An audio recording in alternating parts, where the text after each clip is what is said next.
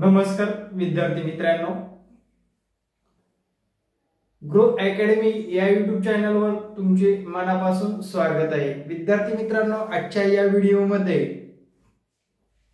आपण D.Ed B.Ed करणाऱ्या प्रत्येक विद्यार्थ्यांसाठी टीईटी पास होण्याची स्ट्रॅटेजी सांगणार आहोत. सर्वात प्रथम व्हिडिओवर नवीन असाल तर व्हिडिओला लाईक सबस्क्राईब शेअर करायला विसरू नका. येणारे प्रत्येक व्हिडिओ पाहण्यासाठी आपलं बेल आयकॉनची घंटा दाबा. विद्यार्थी मित्रांनो आज डिटेलमध्ये माहिती पाहणार आहोत. काय समस्या आहेत सध्या? टी पास करण्यामध्ये रिझल्ट का कमी येतो? कोणत्या गोष्टी करणं गरजेचं आहे? विषयानुसार कसं ज्ञान मिळवायचंय? विद्यार्थ्यांची सध्याची मनस्थिती काय आहे? येणाऱ्या काळामध्ये कशा पद्धतीने परीक्षेला फेस करायचंय? टीईटी पास करणं का गरजेचं आहे? टेट एक्झाम का देणं गरजेचं आहे? कशा पद्धतीने शिक्षक होता येतं? या सर्व गोष्टी आपण या व्हिडिओमध्ये पाहणार आहोत. व्हिडिओ संपूर्ण बघा. तुमचे कॉलेजचे ग्रुप असतील तर त्या ग्रुपवर शेअर करा. बऱ्याच विद्यार्थ्यांना माहीत नाही की शिक्षकाची प्रोसेस कशी असते प्रोसेसनुसार शिक्षक कसं होता येतं? या सर्व गोष्टी आजच्या या संडेच्या दिवशी आपण पाहणार आहोत. तत्पूर्वी चॅनल तुम्ही सबस्क्राईब केलं नसेल तर सबस्क्राईब लगेच करून घ्या. मित्रांनो आपल्याला शिक्षक व्हायचे. म्हटल्यानंतर सर्वात प्रथम तुम्ही डिप्लोमा किंवा व्यावसायिक अर्हता म्हणजेच बीएड केलेलं आहे. डीएड किंवा बीएड केलेलं आहे. त्याला काही चार पाच वर्ष दोन तीन वर्ष किंवा सध्या चालू आहे. एवढा गॅप आहे एवढ्या गॅप मधून आपल्याला परीक्षा पास करायचे. आणि परीक्षा पास केल्याशिवाय आपल्या नावापुढे शिक्षक हा ब्रँड लागणार नाही. हे एकदा मनामध्ये ठासून भरा मित्रांनो लक्षात ठेवा. तर शिक्षक होण्यासाठी मधले मार्ग सगळे बंद झालेले आहेत. मधले दरवाजे सर्व क्लोज आहेत मित्रांनो.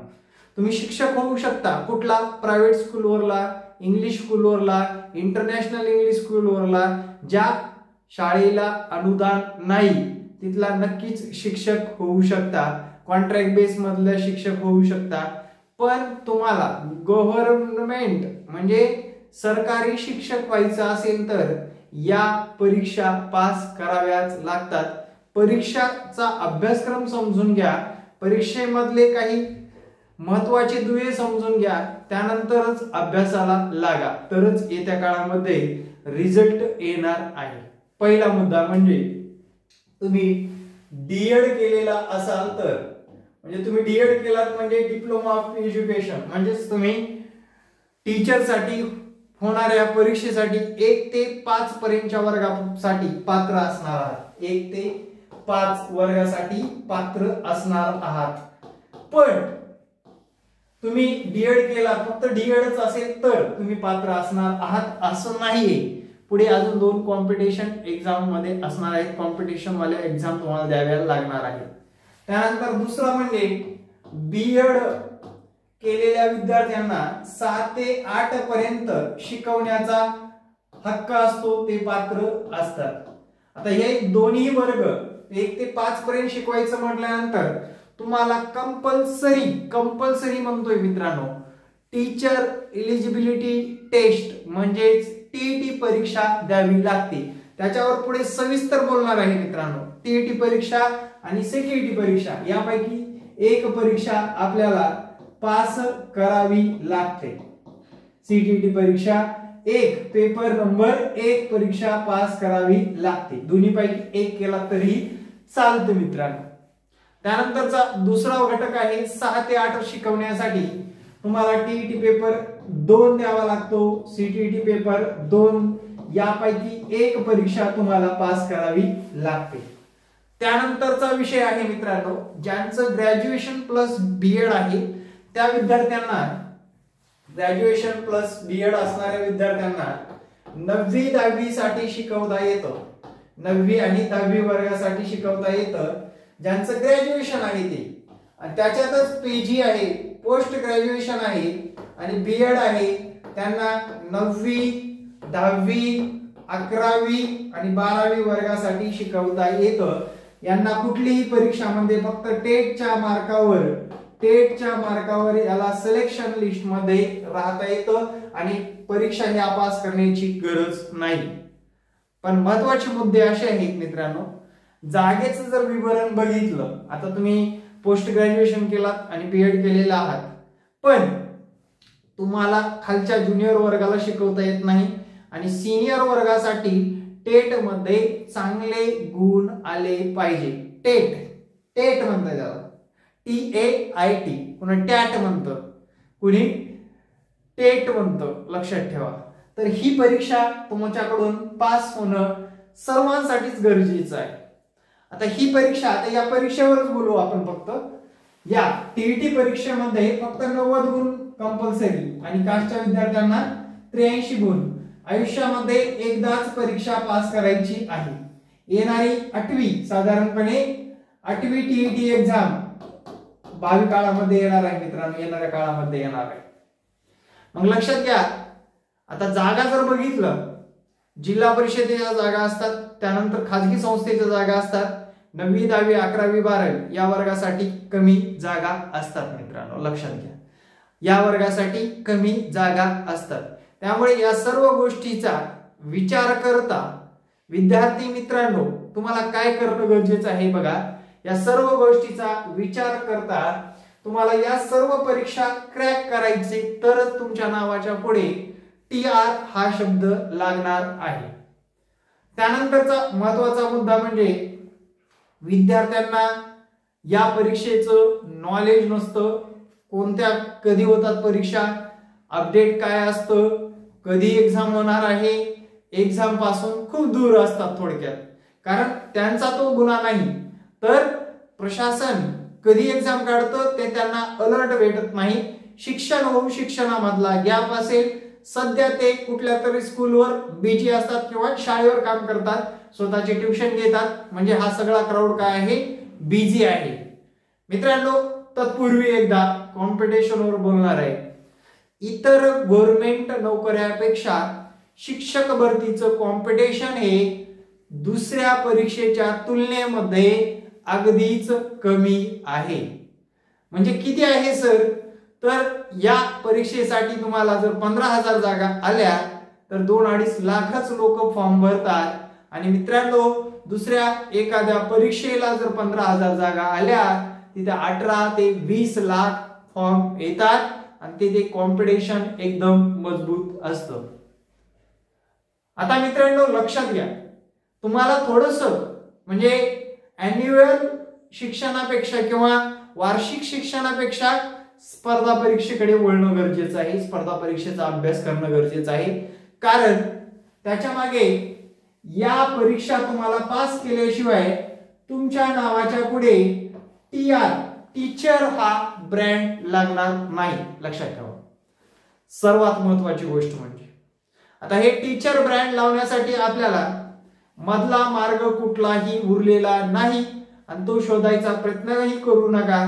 भावी काळामध्ये वेळोवेळी शैक्षणिक धोरणामध्ये चेंजेस नुसार आपले डॉक्युमेंट व्हेरिफिकेशन सातत्याने होतं आणि कुठेतरी आपण कचाट्यामध्ये नक्कीच सापडू शकतो. त्यामुळे कुठल्याही अफवा असतील कुठलेही आमिष असतील यापासून पूर्णपणे दूर राहा.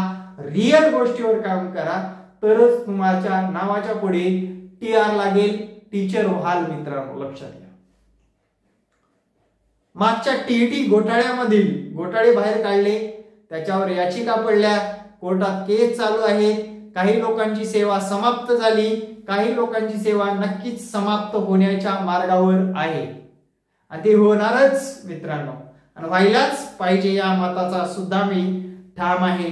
कारण गोरगरिबाचे विद्यार्थी श्रीमंत नसताना परीक्षा पास करून त्यांच्या नावापुढे टी आर लागलं तर खरंच अभिमानाची गोष्ट असणार आहे. मित्रांनो मागच्या काही टीईटी मध्ये घोटाळा झाला. साडेचार हजार लोकांना टीईटीच्या बोगस प्रमाणपत्रामध्ये धरण्यात आलं आणि त्या लोकांना बाहेर काढण्यात आलं बॅन करण्यात आलं. तुम्ही सुद्धा डोळसपणे पाहिलेलं आहे. इथून पुढे तुम्हाला फक्त परीक्षाशिवाय दुसरा पर्याय उरणार नाही. आणि दुसरा पर्याय अंगीकारू नका. परीक्षा पास करूनच तुम्हाला जर भविष्यामध्ये खडायचं असेल शिक्षक व्हायचं असेल तर या परीक्षा पास करणं गरजेचं आहे. आता परीक्षाचं जर बघितलं मित्रांचं सातत्याने सातत्याने टीईटी सारखी एक्झाम जेव्हा असते किंवा सीटीटी सारखी एक्झाम असते टीईटीचा जर रिझल्ट बघितला साडेतीन टक्के रिझल्ट लागलेला आहे मागचा. आणि सीटीटीची जर बघितली परिस्थिती ऑल इंडियामध्ये वीस लाख लोक बसतात. आणि मित्रांनो अडीच ते तीन लाखच लोक पास होतात. आणि वीस लाखापैकी अडीच तीन म्हणजे दोन टक्केच रिझल्ट लागतो लक्षात घ्या. किती टक्के रिझल्ट लागतो?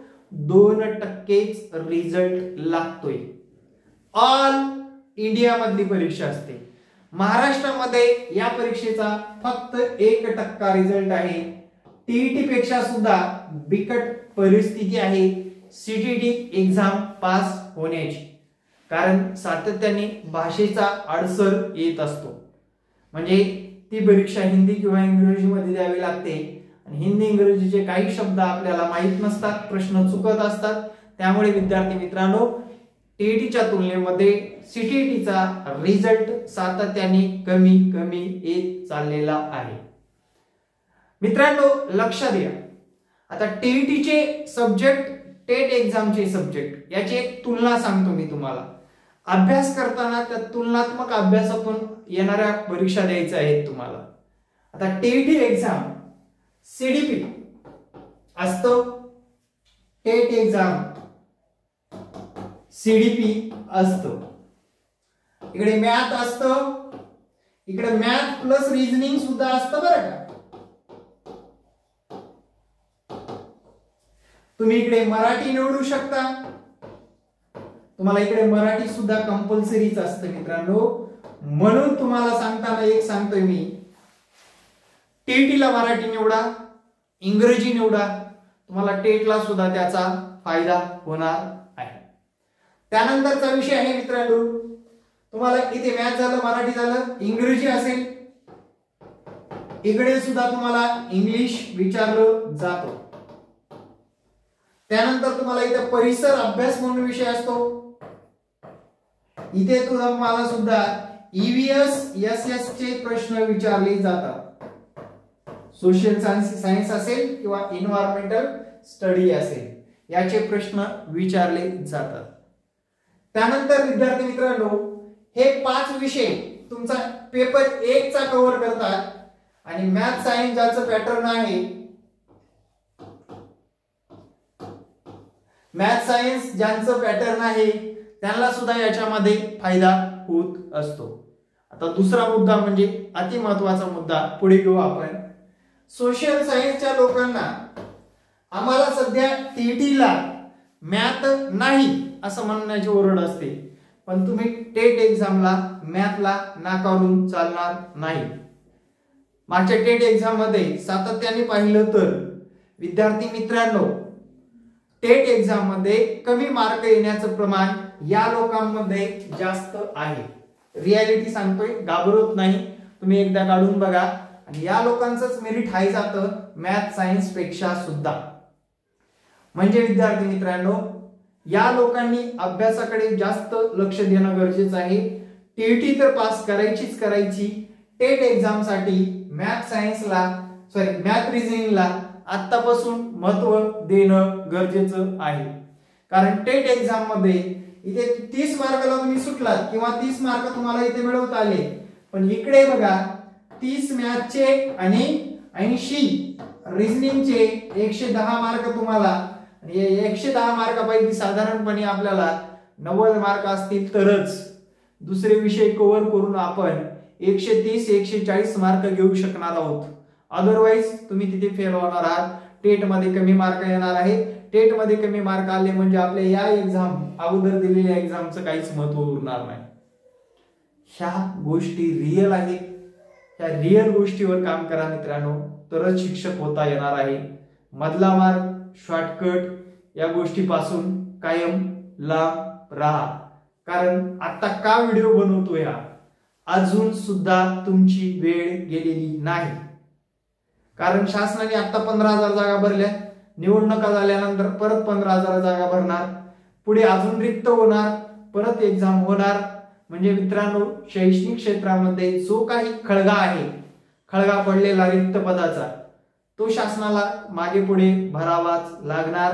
शासनाला इंग्लिश स्कूलवर सुद्धा बंधनं आणावे लागतील. आणि शैक्षणिक धोरण चांगल्या प्रकारे महाराष्ट्राचं राबवल्याशिवाय जनता येत्या पाच वर्षामध्ये अजिबात खुश राहणार नाही शासनावर लक्षात ठेवा. हे शब्द तुम्ही तुमच्या कानामध्ये चांगले फिट बसवून घ्या. येणाऱ्या काळामध्ये शिक्षण क्षेत्राला भरवी साठा दिल्याशिवाय शासनाला पुढे पाऊल टाकता येणार नाही. आता आपलं टार्गेट काय? आपलं टार्गेट सध्याच टेट एक्झाम दिला शंभरपेक्षा कमी मार्क आहेत. टीईटी पास नाही त्या लोकांनी टीईटी पास करणं गरजेचं आहे लक्षात घ्या टेट एक्झाम दिला त्यांना सांगतो. आता टेट एक्झाम द्यायची हा माझा संपर्क क्रमांक आहे. मित्रांनो या संपर्क क्रमांकावर व्हॉट्सअप करा. टीईटी टेटचं ऑनलाईन रित्या घरी बसल्या मार्गदर्शन मिळवता येणार आहे. अदरवाईज तुम्हाला जर दुसरीकडे कुठे चांगलं वाटलं बिंदास्तपणे जावा मित्रांनो. कारण आपलेच अख्ख्या महाराष्ट्रामध्ये ठामपणे सांगतोय जसं टेट एक्झाम झाली म्हणजे टीईटी एक्झाम दोन हजार एकवीस टेट एक्झाम दोन हजार बावीस दोन हजार तेवीस आणि आता दोन हजार चोवीस सलग चार वर्ष. एकही दिवस खाडा नाही मित्रांनो. कंटिन्युअसली विद्यार्थ्यांना मार्गदर्शन करत आलेलो आहे. इथून पुढे सुद्धा करत राहणार विथ नोट्स तज्ञ प्राध्यापक वर्ग आणि विद्यार्थ्यांना योग्य गायडन्स मिळण्याचं एकमेव ठिकाण म्हणजे ग्रो अकॅडमी हे ठामपणे सांगू शकतो. कारण ग्रो अकॅडमीवर जेवढी सर्व्हिस भेटते जेवढं विद्यार्थ्यांचं भलं होतं महाराष्ट्रामध्ये कुठंच होणार नाही नक्की सांगणार आहे मित्रांनो. माझ्याकडे मागच्या वर्षी सुद्धा जे लोक क्लास लावले त्यांचा तर फायदा झालाच झाला. जे क्लासला हजर नव्हते परीक्षा झाल्यानंतर त्यांना वाटलं की बाबा आपण जर क्लास सरांकडे लावले असते दहावीस मार्क अजून वाढलो असतो आणि सेक्युअर मार्क असते आपले आत्ताच्या शिक्षक भरतीमध्ये आणि टीईटी पास होण्यामध्ये सरांचा हातखंडात जास्त असला पाहिजे. मित्रांनो अनेक व्हिडिओ टाकलेले चॅलेंज देऊन सांगतो. व्हिडिओ आवडले शिकवलेलं समजलं तरच जॉईन करा. अदरवाईज जॉईन करू नका. तुमचे पर्याय तुमच्याकडे खुले आहेत. दुसरा आणि अतिमहत्वाचा विषय म्हणजे क्लास लावले म्हणजे सगळंच आलं असं नाहीये लक्षात घ्या. क्लास अटेंड करणं पहिलं तुमचं प्राधान्य असलं पाहिजे.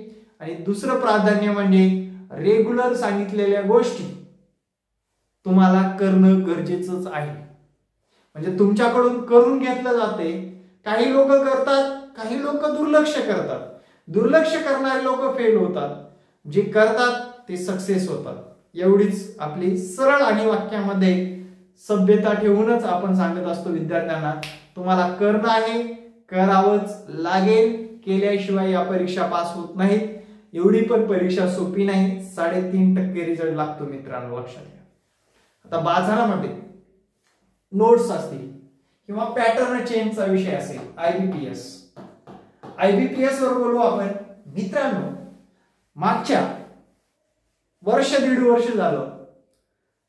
आयबीपीएस परीक्षा घेतो.